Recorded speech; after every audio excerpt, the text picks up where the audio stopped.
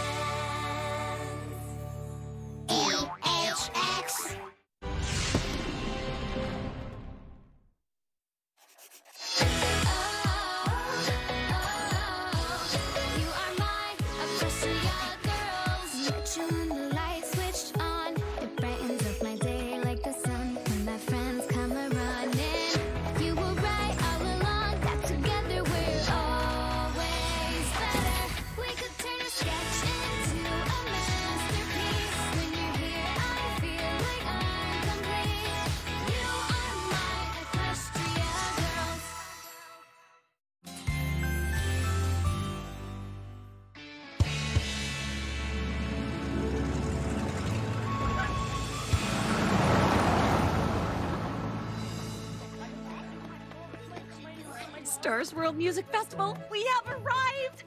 Two days and nights of cool music, hot food, and sleeping under the stars. To Pinkie and me, this festival's about one thing only. Post Crush! we know. Y'all won't stop talking about him. Oh, Post Crush? That's only because Post Crush is the craziest, most amazingest pop duel ever! Post Crush, Post Crush, Post Crush! Oh, I see your point. After they canceled their last tour to go on indefinite hiatus, we thought we'd never see them live. But we thought wrong!